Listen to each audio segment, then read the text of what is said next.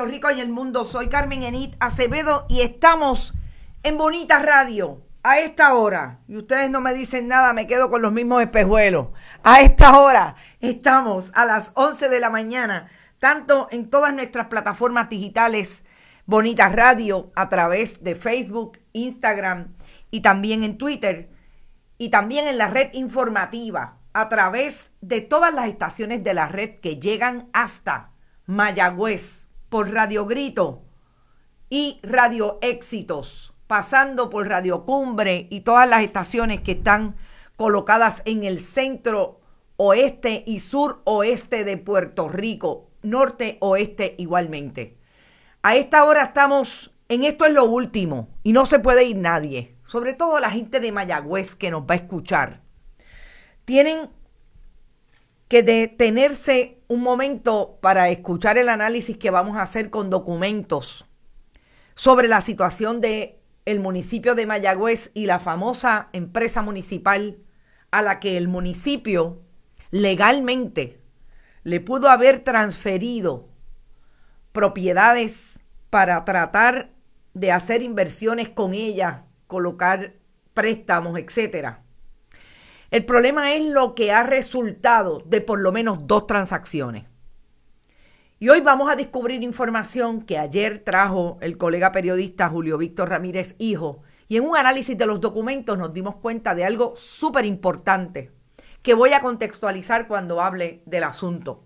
También vamos a hablar de cuál es la posición del Partido Popular en toda esa controversia, de lo que está ocurriendo con relación al COVID, que tenemos que seguir llamando la atención de que hay un repunte peligroso que podría colocar al país en un momento difícil, volviendo, según eh, los científicos, entre ellos Daniel Colón, uno de los miembros de la coalición científica que nombró Pedro Pierluisi, llamando la atención de que nos podría colocar en los números tan fatales que tuvimos entre noviembre y diciembre. Vamos a hablar eh, de cómo pinta el nombramiento de Gustavo Gelpi o la jueza presidenta del Tribunal Supremo, eh, Maite Oronoz, que están solicitando la plaza que dejara el fenecido eh, juez Torruella en el Tribunal de Circuito de Boston y aparentemente, según el colega del Nuevo Día eh, que está en Washington, José Delgado, Biden se dispone a nombrarla en estos días. Pero antes, como siempre, compartan, compartan, compartan. Estamos en bonitasradio.net. Allí usted puede donar a través de PayPal y tarjetas de crédito. También Fundación Periodismo Siglo XXI recoge todo lo que ustedes quieran compartir con nosotros a través de su ATH móvil, Fundación Periodismo 21, la corporación sin fines de lucro que hemos creado para producir los contenidos bien costosos de investigación, análisis y multimedia, sobre todo de periodismo en profundidad e investigación que queremos reproducir en Bonita Radio. También recibimos cheques o giros postales en esta dirección, PMB 284, PO Box 19400 San Juan, Puerto Rico 00919-4000. Tenemos un nuevo internauta en Nueva York, Richard Jurado. Saludos, Richard, y bienvenido a Bonita Radio. Vayan a todas nuestras redes sociales, como siempre, a través de Monita-Radio, van a Twitter. Y nuestros auspiciadores, entre Vega Alta Coop, de tu lado siempre. Eh, la cooperativa Abraham Rosa, y Buen Vecino Café. Débora está por ahí, saludos bonitos, saludos Débora. Mag Scott también está por ahí. Frances Segarra, en Europa han tenido que volver a cerrar, eso es así. Y es lo que no podemos, eh, no podemos permitir que ocurra en Puerto Rico. Quizás la primera nota que debemos llamar la atención es el asunto del COVID. Eh, ustedes saben que ayer hablábamos de que el secretario del Departamento de Salud ha insistido en que independientemente de lo que ocurra con relación a la vacunación, yo me cuestiono el millón de personas vacunadas. Yo creo que son un millón de dosis. Eh, pero aparentemente sí se ha acelerado eh, la puesta de la vacuna para aquellas personas que la quieran recibir. Sabemos que todavía hay resistencia entre diferentes grupos por diferentes razones con relación a la vacuna. Dice que se han reportado, el secretario de salud, tres variantes distintas del SARS-CoV-2, el virus que causa el COVID, mientras el Departamento de Salud anticipa que desde la semana entrante recibirá 106 mil vacunas semanalmente. Mellado dijo que hay 14 casos que pertenecen a la variante británica, 4 que pertenecen a la californiana y uno a la variante brasileña. En el laboratorio del CDC, dijo el secretario, se está secuenciando la cadena completa. La Escuela de Medicina de Ponce también tiene una secuencia. Lo que pasa es que hay que eh, secuenciar 19 genomas. Estamos hablando puramente científico de cómo es que los diferentes laboratorios tienen que hacer análisis de esta cepa.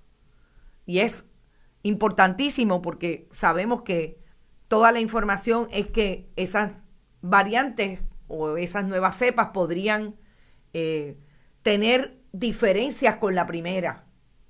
Así que, si esto es así, yo creo que la insistencia de las autoridades científicas han sido en que tenemos que mantener no solamente el cuidado personal, la seguridad y la protección desde la mascarilla, el distanciamiento físico y evitar las aglomeraciones. Si mantenemos el distanciamiento físico y evitamos las conglomeraciones, podremos superar cualquiera de las variantes, dice el secretario.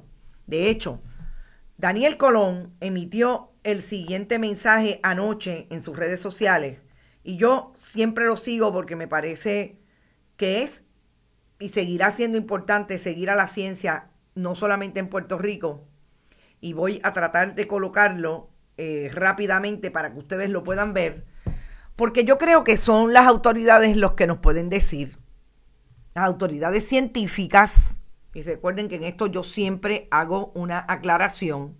¿Por qué? Porque me parece que hay que tener muchísimo cuidado, muchísimo cuidado con estar eh, siguiendo eh, manifestaciones de personas que realmente no tienen información científica y mueven eh, de alguna manera información que no tiene certeza de que tenga una fuente real. Y les voy a colocar lo que dijo ayer, eh, anoche, Daniel Colón, que como ustedes saben es el, uno de los directivos de la coalición científica que nombró el gobernador Pedro Pierluisi.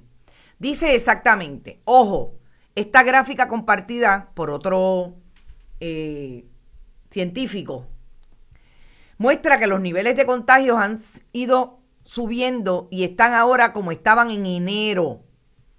Es decir, hemos borrado lo bueno, y si seguimos este curso, iremos regresando a números terribles de diciembre. Y esto sin que haya pasado Semana Santa. Yo creo, y me parece que es responsable de cada medio de comunicación, estar insistiendo en lo que los científicos están insistiendo puede ser una gran crisis de volver a donde estábamos en esos números terribles. Y no olvidemos que esos números terribles fueron tan cerca como noviembre y diciembre y en el mundo, aquellos que abrieron sus economías están regresando al cierre total. Uno de ellos es Italia, España, en algunas regiones del país han tenido que cerrar nuevamente. Me parece que es responsable de parte nuestra dar la información e insistir, uso de mascarilla, no se conglomere, no se aglomere ni siquiera con su familia, independientemente de que estén vacunados. Lo único que hace la vacunación es retrasar esa posibilidad, pero no necesariamente impide que usted se infecte, se contagie de COVID si hay otros elementos alrededor. Así que si están vacunados, use la mascarilla y no se aglomere, que debe seguir siendo lo más importante. Eh, del COVID Pasemos al tema de de hecho, me faltan fotos aquí. Pasemos al tema de lo que está pasando en el Tribunal de Estados Unidos en Puerto Rico con relación y en el Tribunal Supremo de Puerto Rico con relación a la posibilidad de que sean eh, o Gustavo Gelpi o el juez o la jueza, el juez Gustavo Gelpi, que es el presidente del Tribunal Supremo de Puerto Rico, de Estados Unidos aquí, perdón, del Tribunal de Distrito de Estados Unidos en Puerto Rico, y la jueza presidenta del Tribunal Supremo. Ah, que nos cogió, definitivamente nos cogió eh, de sorpresa que ese sea uno de, una de los candidatos que tenga el Tribunal Supremo para atender eh, esa vacante, perdón, el Tribunal de Estados Unidos para atender esa vacante en el Tribunal de Circuito. Joe Biden tiene dos candidatos y la nota del colega solamente dice que están a punto eh, de nombrar a uno o a otro. Me llama la atención que el compañero establece que puede ser, eh, obviamente, basado en una historia que hace The Wall Street Journal. Eh, y ese, el, el foro a nivel del Congreso está anunciando a través de Wall Street Journal que tiene en efecto 10 nominaciones que va a atender el Congreso de Estados Unidos porque esto es una posición que tiene que ir a pasar por el sedazo del Congreso. Eh, ¿Cuál es la posibilidad de Orono Rodríguez de 45 años versus Gustavo Gelpi, presidente del Tribunal de Distrito en Puerto Rico, eh, de 55 años? Yo realmente creo quien, que quien podría tener posibilidades es Gustavo Gelpi por, una, por un asunto puramente de la trayectoria de Gustavo Gelpi en ese foro judicial. Fíjense que no estoy diciendo que Gustavo Gelpi tenga o no tenga el poder de tener eh, pool para eh, lograr cabildear a favor de él para que Joe Biden lo nomine. Porque a mí me parece que igual poder de ese pool que puede tener uno y otro, igual lo puede tener la jueza Maite Oronos. Y aquí voy a entrar en algo que se da eh, desde siempre en este tipo de nominaciones, que pasa igual en Estados Unidos a como pasa en Puerto Rico y lo hemos visto. Y tan cerca como ayer hablábamos nosotros de la posibilidad de que la decisión del juez eh, Anthony Cuevas con relación a la decisión en el caso de Manuel Natal tuviera en el realmente eso es lo que plantean los críticos de la decisión. Tuviera alguna injerencia con el hecho de que el juez haya sido nombrado por el Partido Nuevo Progresista. Lo hemos visto mucho alrededor de muchas decisiones y esa es la crítica mayor porque como que nunca se, se escapa la política partidista cuando vamos a hacer análisis de lo que ocurre en este tipo de nombramiento. ¿Quién es el juez Gustavo Gelpi? Gustavo Gelpi tiene una trayectoria desde muy joven. Tiene 55 años, pero llegó muy joven. Más joven que casi todos los otros que le antecedieron allí en el Tribunal de Distrito de Estados Unidos en Puerto Rico. Eh, su padre es un abogado reconocido de una de las firmas más importantes de Atorrey, Maconel y Valdés, y también tiene allegados en esa firma tan sencillo como el juez Héctor Lafitte. Usted pensaría que si Héctor Lafitte va a apoyar a alguien y de ahí, de esa manera se mueve el poder en Washington. De esa manera se mueve.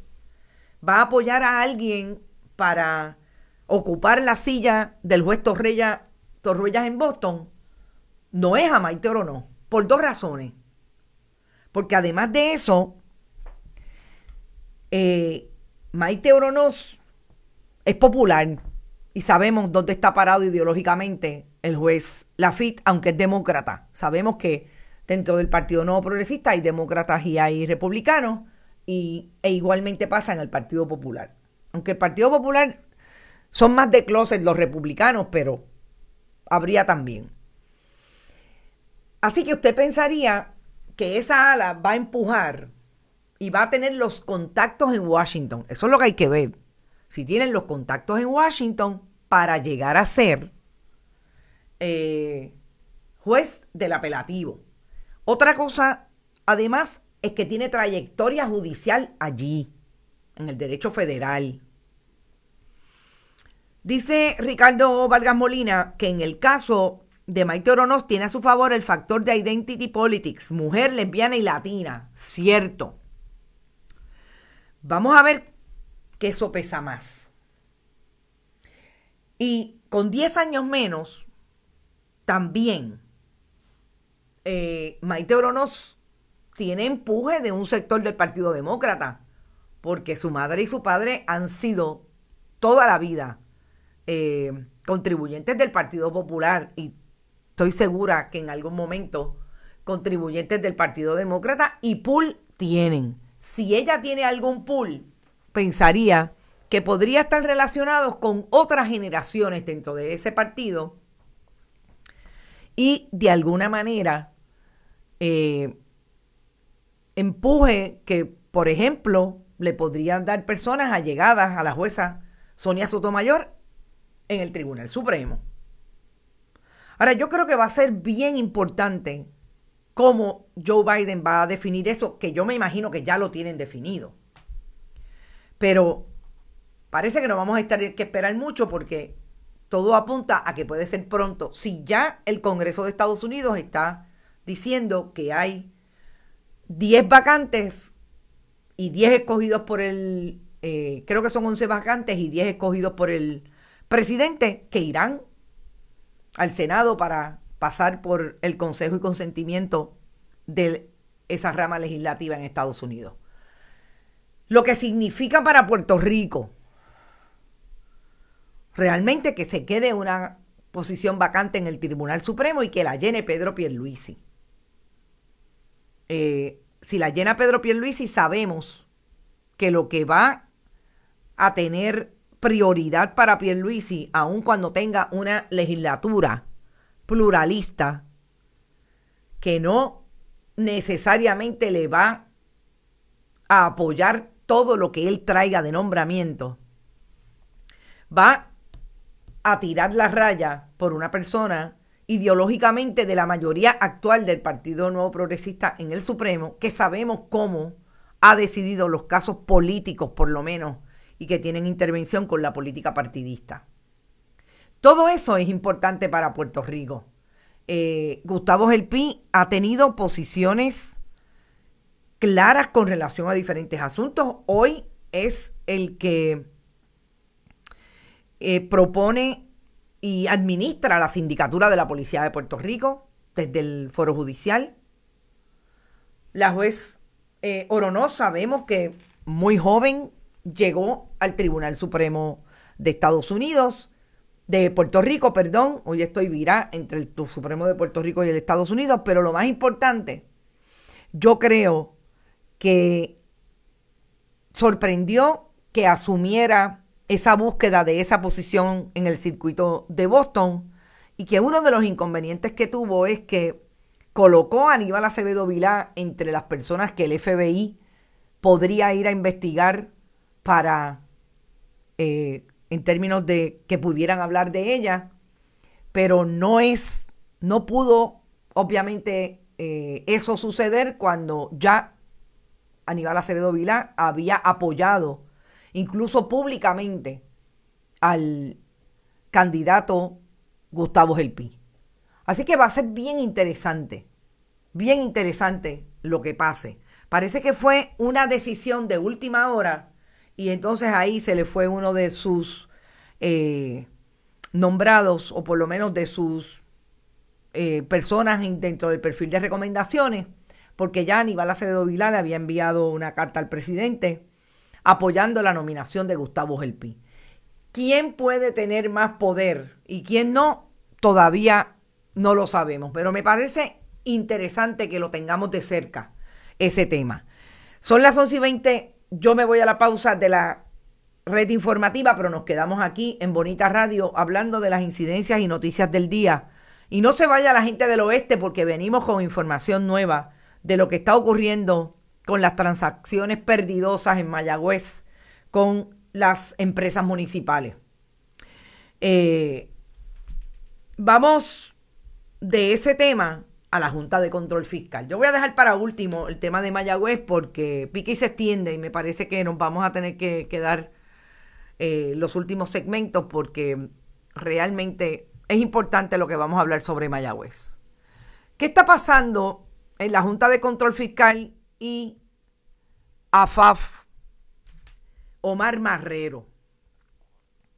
Ustedes saben que la Junta de Control Fiscal, Natalie Jaresco, el presidente de la Junta de Control Fiscal, ha emitido por lo menos tres cartas, en las, dos cartas en las últimas semanas, relacionadas con lo que entendieron era un presupuesto que no podía tener el aval de la Junta de Control Fiscal, que como sabemos es la que manda en este asunto.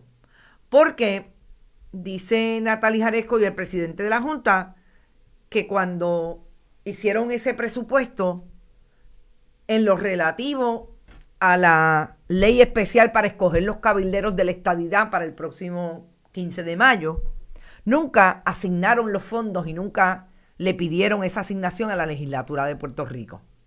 Trancado a la banda Tatito Hernández, presidente de la Cámara de Representantes, ha dicho, no hay chavos, no hay chavos, no hay chavos. Yo estoy viendo papeletas y estoy viendo todo eso, no sé si es que ya el Ejecutivo defalcó una cuenta para insistir como partido político en el gobierno de Puerto Rico en el famoso, en la famosa elección especial a base del referéndum del 52% con relación a la estadidad que se dio el 3 de eh, noviembre del 2020. Pues Natalie Jaresco le escribió al jefe director ejecutivo de la Autoridad de Asesoría Financiera y Fiscal, AFAF, Omar Marrero Díaz, el que tienen en pantalla con Natalie Jaresco, para advertirle que la decisión del negociado de transportación y otros servicios públicos para aumentar las tarifas de acarreo tiene que ser anulada en aras de una mejor recuperación económica y mejor competencia con otras jurisdicciones. Yo lo que me cuestiono es, esta gente no acaban de entender que quienes mandan y que los que son los gobernantes de facto, de jure, porque de facto es Pedro Pierluisi porque ganó una elección. Pero los que mandan son los miembros de la Junta de Control Fiscal y Natalie Jaresco como directora ejecutiva se los dice como cada dos minutos. Pero ahora vuelve a tener que notificarle a través de una carta la preocupación que tiene la Junta de Control Fiscal de que autorizaron ese aumento a través de una carta circular 35-2020 y nunca pasó por la Junta de Control Fiscal. ¿Soy yo o esta gente están jugando a retar a la Junta de facto? cada vez que pasa algo relacionado? O sea, ¿cuál es la impresión que quieren dar? Que ellos en efecto no estaban de acuerdo con la Junta de Control Fiscal ni con lo que hacen. Lo que pasa es que aquí hay que recordarle al país que Pedro Pierluisi el mismo que ayer regañó a los viequenses y a los culebrenses, diciéndole que no pueden protestar pacíficamente porque interrumpen los servicios esenciales. Ese mismo Pedro Pierluisi fue asesor de la Junta de Control Fiscal. Y no solamente fue asesor de la Junta de Control Fiscal cuando Ricardo Rosselló Nevares era el gobernador de Puerto Rico. Es que antes de eso fue a Washington a pedir que esa junta se estableciera y combatió algunas otras posibilidades que hubieran sido mejor para Puerto Rico. Ahí está en récord. Este mismo Pedro Pierluisi. Entonces ahora nos quiere dar la impresión de que sí, de que él lucha porque esa Junta de Control Fiscal no le meta las manos al presupuesto del país. No. Yo creo que hay que ponerlo en su justa perspectiva. Pedro Pierluisi, Omar Marrero, quieren hacer ver que ellos tienen el control del país cuando yo creo que el país está bastante claro que quienes mandan, la, quienes mandan son los miembros de la Junta y que este tipo de esfuerzo que trataría de establecer un aumento sin pasar por la Junta de Control Fiscal, la Junta no se lo va a permitir. Supuestamente, el director de AFAF, Omar Marrero, le había advertido al negociador de transportación y otros servicios que las regulaciones tomadas deberían cumplir con las políticas de la Junta de Control Fiscal, pero el negociado hizo caso omiso. ¿Y quién pone el cascabel en el gato en este gobierno? ¿Quién le pone el cascabel al gato? ¿Quién les dice, oigan, ustedes tienen que seguir los debidos procesos? Este es el gobierno que dice que es de ley y orden. Este es el gobierno que dice que regaña a los viequenses y a los culebrenses porque no pueden protestar pacíficamente porque interrumpen los servicios esenciales. Y ellos mismos no pasan por donde tienen que pasar para pedir las autorizaciones. Porque otra cosa que pasó ayer, y lo voy a cruzar en el análisis, Pedro Pierluisi decía que la gente tiene que seguir las instrucciones del Departamento de Salud en términos del distanciamiento físico y miren cómo están aglomerados en esa conferencia de prensa. ¿Cuántos, cuánta distancia hay entre el gobernador y el secretario Machargo de, Recursos Naturales? ¿Ustedes creen que hay seis pies? ¿Cuánto hay entre Machargo y el coronel de la policía que está ahí? ¿Ustedes creen que hay seis pies? Entonces, yo me pregunto, ¿este es el gobierno que quiere que los puertorriqueños y puertorriqueñas residentes del país sigan las instrucciones, pero ellos no las siguen? Pipo lo que está haciendo es el show para verse bien macharrán, pero todos sabemos quién manda, el Congreso de Estados Unidos. Gracias, Cintia Rosario. A ellos no les importa, no les importa. Eh, no les importan los procesos, María Alonso. Saludos, María Alonso. Sandra García, nunca han guardado los seis pies, nunca. Pero entonces se atreven a decirle al país que el país protesta mal, que así no se protesta. Y yo con relación a Vieques y Culebra, y lo voy a traer hablando precisamente del regaño de ayer del gobernador, tengo que decir que a mí me llama la atención cómo la gente se atreve en las redes sociales a decirle a los viequenses y a los culebrenses cómo tienen que protestar. Y ha habido una crítica, yo creo que más que una molestia, es un dolor de parte de algunos y algunas viequenses y culebrenses que he leído a través de las redes, llamándole la atención a esos que escriben que ellos no se pueden imaginar lo que es estar viviendo en un lugar donde no hay hospital. Y yo creo, solamente esa imagen voy a dejar.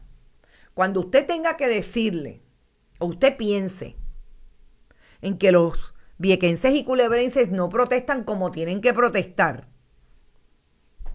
porque interrumpieron supuestamente el servicio esencial. Yo creo que debería pensar, sentarse frente a su casa, cuántos minutos le toca llegar al primer hospital. Inmediatamente que eso ocurra, piense cuántos minutos le cuesta a un viequense o un culebrense, sobre todo a un viequense que no tienen hospital, llegar al hospital más cercano.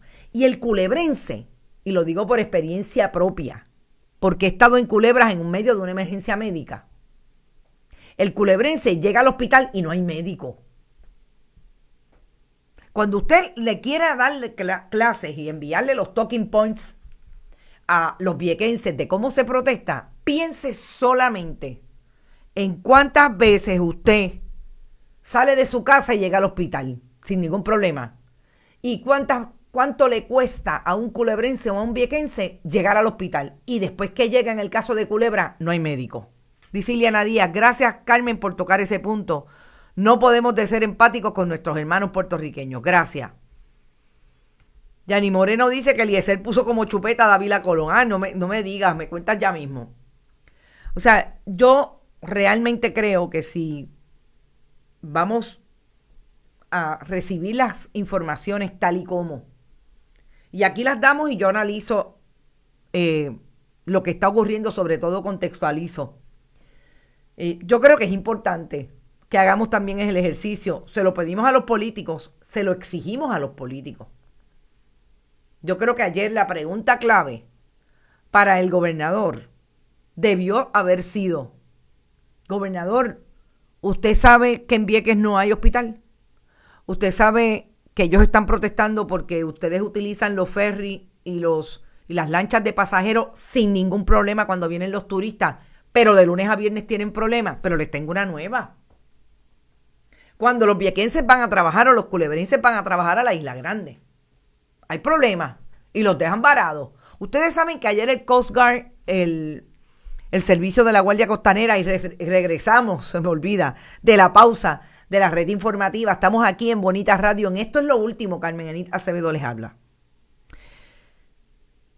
El servicio de Guardia Costanera dejó en Ceiba a los usuarios de una de las lanchas porque ayer se venció una de, por decirlo de alguna manera, que creo que es un poco más que un barbete, una de las de las autorizaciones eh, de navegación que tienen las lanchas.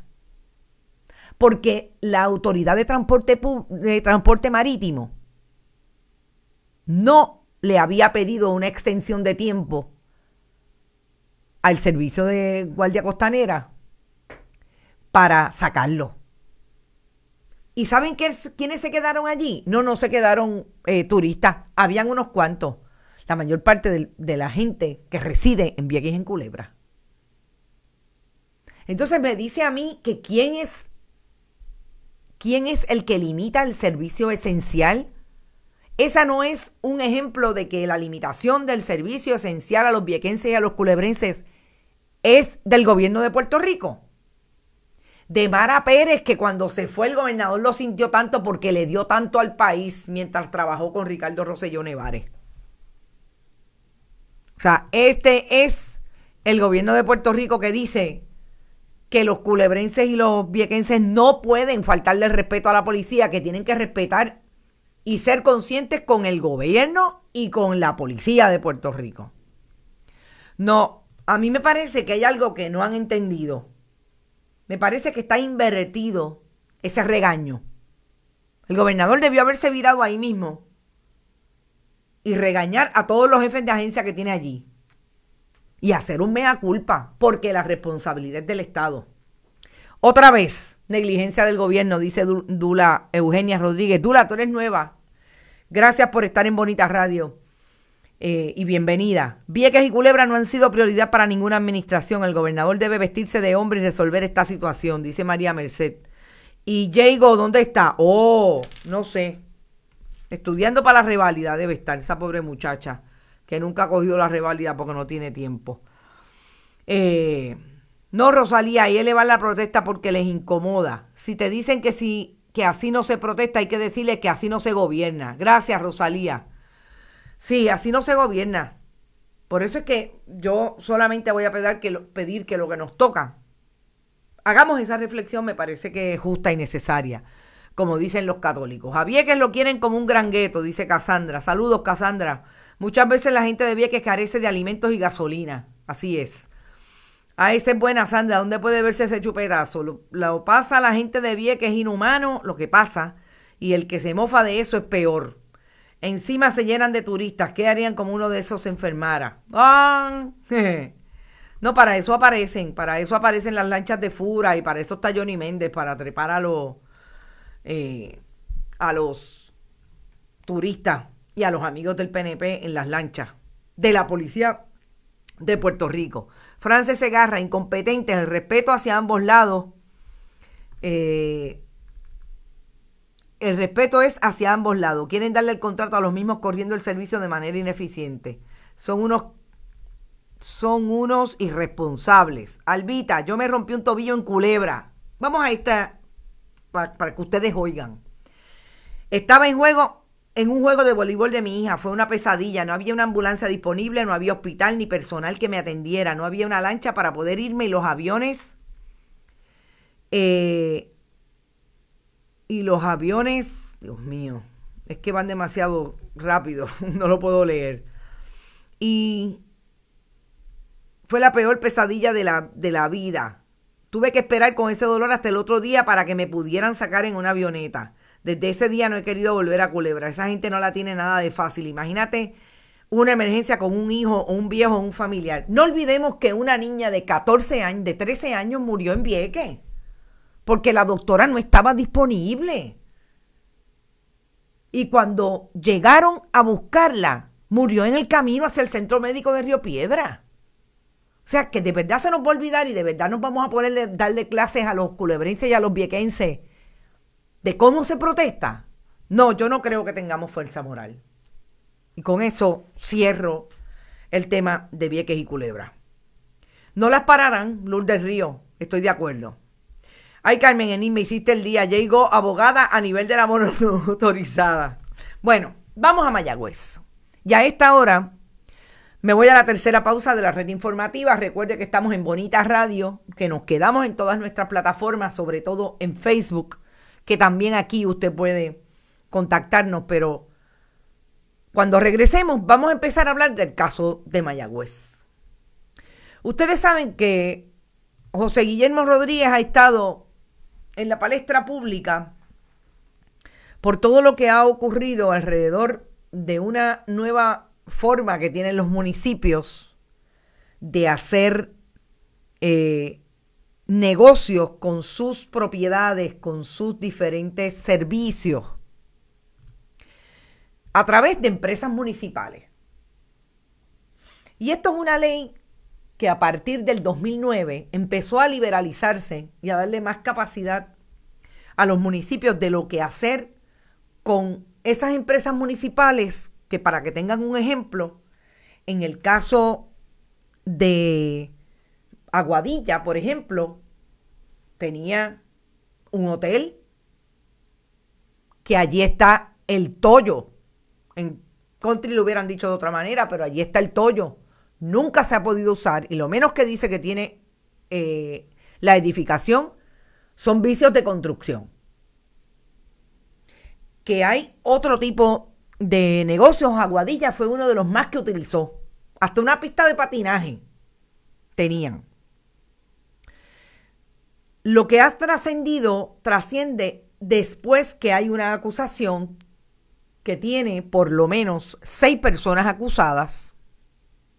Seis personas que entre ellos está Eugenio García, que es un eh, contratista, un empresario, que tiene a su vez diferentes corporaciones y una de las corporaciones que tiene es una corporación que se llama Maga Film, que ahora el colega periodista Oscar Serrano también saca una información relacionada con que Maga Film tiene un eh, tuvo un proyecto para supuestamente hacer un gran eh, una gran plaza de hacer de Mayagüez una gran plaza eh, para hacer películas tipo Hollywood, o sea, una plaza de gran estudio de cine. como nuevo destino de Hollywood en el Caribe. Eugenio García es parte de la acusación que emitió la semana pasada un gran jurado y que mantiene también acusado a uno de los principales asesores del municipio de Mayagüez, Alfredo Irizarri Irizarri. ¿Cuál, ¿Cuál es la información que vamos a traer hoy en el contexto de unos documentos que sacara ayer el colega periodista Julio Víctor Ramírez Hijo, allí en la ciudad de Mayagüez, en la región, prensa regional de Mayagüez. Hay un documento.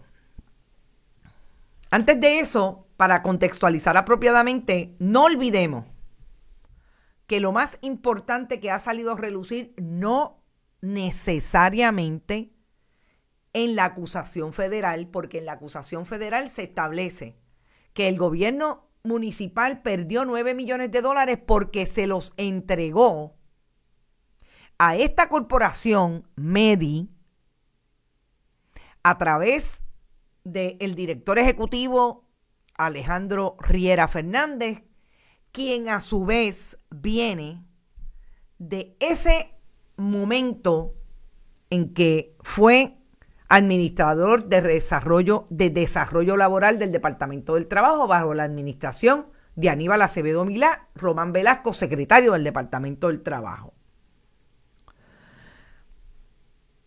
Estos documentos, para mí, uno de los más importantes es el que establece que todas estas corporaciones se le iban a dar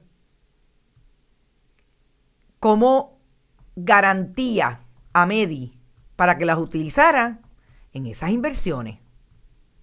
Yo creo que esa es, una, es uno de los documentos más importantes, esta documentación que dice que estas propiedades municipales serían traspasadas a MEDI. De todo eso, aparentemente, las que sí tuvieron alguna instancia de traspaso fueron nada más y nada menos que el Palacio de Recreación y Deportes, y el Hospital San Antonio, Pediátrico San Antonio. ¿Cuál es la documentación que a mí me parece que tiene todavía más vigencia de todo lo que ha sacado, ha salido a relucir el caso de este asunto de, de Medi, empresa municipal, alcalde José Guillermo Rodríguez. Que en efecto hay una corporación de nombre WCI, o mejor conocida, voy a decir el nombre correcto, West y me, me perdonan el inglés de country, West Coast Investments, LLC, que firma un acuerdo de préstamo con el municipio de Mayagüez por 600 mil dólares. Perdón, con la empresa municipal Medi. 600 mil dólares. No olvidemos que la figura de la empresa municipal es como este híbrido, que ahí es donde yo entendería que está el truco de todo esto, que adquiere personalidad jurídica versus el municipio. Entonces el municipio está, pero no está. El director ejecutivo es Alejandro Riera Fernández y uno de los miembros o presidente de la Junta de la empresa municipal es el alcalde, José Guillermo Rodríguez. Cuando este documento se firma, se establece que lo que va a pasar es que el préstamo de 600 mil se lo va a entregar eh, WCI, West Coast Investments, a Medi, y que el repago de ese préstamo, aquí es donde y de hecho, tengo que sacar esta foto para, para que ustedes la vean porque yo quisiera que la puedan leer correctamente. Porque esto, yo lo lamento, es un escándalo. Y yo quisiera que alguien me pudiera contestar dónde está la legalidad de este asunto. Eh, sobre todo, eh, dónde está partiendo de lo que es definitivamente usurería. Porque cuando usted me dice a mí que usted me va a prestar 20 dólares y que tú me los vas a pagar mañana y que mañana yo te tengo que dar 40, el interés es el 100%. Ustedes me dirán si no. Esto fue lo que pasó. Lo que pasa es que aquí no eran 20 dólares. Eran 600 mil dólares.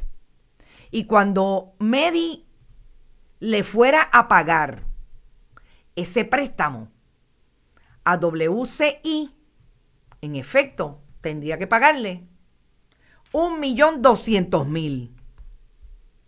Estamos hablando de una empresa municipal y es específicamente el lado donde el, el párrafo que está marcado en amarillo. Una empresa municipal que iba a coger un préstamo para pagar a su vez una deuda que tenía. Entonces, ustedes me dicen dónde está el negocio. ¿De quién es el negocio aquí? Cojo 600 mil dólares y cuando pague el préstamo, Ah, eso era para pagar una deuda. Pago la deuda y cuando pague el préstamo le tengo que dar 1.2 millones de dólares porque le tengo que pagar de intereses el 100%, mi hermana, mi hermano. Entonces, cuando yo hago el análisis de los documentos hasta aquí, el compañero Julio Víctor Ramírez Hijo hizo su, trajo su información Miren el párrafo 3. Dice que para garantizar el pago del principal, los gastos legales, los intereses futuros, etc. Medi está entregando una nota asegurada de una hipoteca que fue garantizada por notario público, obviamente está diciendo que fue garantizado lo que fue garantizado. Eh, y déjenme buscar el párrafo 4 porque esto es súper importante. Eh, que fue eh, entregada esa nota debidamente notarizada el 27 de junio del 2018. O sea, la nota que iría a el colateral, que es la nota que le tiene que incluir, que se tiene que incluir para eh, garantizar ese préstamo. Y este es el 7 y no es el 7, es el 3, el 4. Perdonen, pero estoy aquí haciendo de tripas corazones porque los documentos aparentemente entraron de manera diferente y eh, es importante que, aunque yo creo que es esta, vamos a ver si es esta. Eh, tienen que establecer esa nota, pues no, no es esta. Eh, tiene que establecer qué lo va a garantizar. Y lo que está garantizando, y aquí sí está, es precisamente, gente, el Hospital San Antonio. El 27 de junio se reunieron, hicieron una nota para incluir este bien, y es Arnaldo Irizarri. El que hace esta transacción todo el tiempo es Arnaldo Irizarri. Por lo menos eso establece el documento oficial. Todo esto, esta colateral, sería que el Hospital San Antonio, o sea, edificio situado en la calle de Mirasol del término municipal de Mayagüez. O sea que los 600 mil dólares tú me los prestas. Yo te voy a pagar 600 mil dólares cuando te pague el préstamo. Es decir, que son 100% de interés. 1.2 millones de dólares.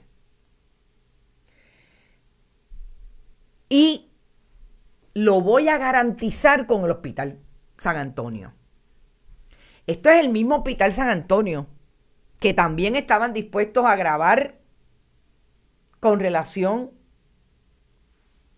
al caso de la, lo famoso, la famosa inversión de generadores que estaba promoviendo con su cliente de California, José Alfredo Hernández Mayoral.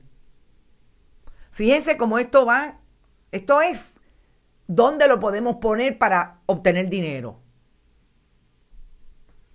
¿De qué cargos podrían acusar a Guillito de acuerdo a lo que sabemos hasta ahora? Vamos ya mismo a eso, porque es que falta más. ¿Qué es lo interesante de esta documentación? Que aquí habla de que esta transacción de grabar eh, el Hospital San Antonio se dio el 27 de junio del 2018. Lo que pasa es que esta corporación, según está incorporada en el Departamento de Estado, WCI, fue incorporada en el Departamento de Estado el 6 de julio del 2018. Por ahí veo que está la licenciada María Madonna John Park. ¿Cómo es que pueden hacer una transacción de un préstamo de 600 mil, grabar el 27 de junio del 2018 una colateral como es el Hospital San Antonio y la corporación no se crea hasta el 6 de julio del 2018? No entiendo. Realmente si usted no está creada, ¿cómo es que podría ir a Christopher? Vamos al nombre del, de la persona, eh, el encargado que todo esto lo hizo con Alejandro Riera. Es mejor, la cosa se pone mejor. Christopher, vamos aquí al nombre. Realmente, cuando uno lee esto, es que uno se da cuenta que aquí hay gato encerrado. Christopher J. Foster. Christopher J. Foster se sentó el 27 de junio y supuestamente traen la nota grabada para lo que supuestamente firmaron el 6 de julio del 2018, el mismo día que crearon la corporación. ¿Alguien me puede explicar? María Madonna John Paul, si usted tiene con resoluciones corporativas retroactivas, ah, y es legal, es mi pregunta. O sea, no estaba firmada, no estaba creada la corporación, pero ahora veo que el documento arriba dice 6 de julio del 2018, aunque trajeron la, eh, colateral grabada el 27 de junio del 2018.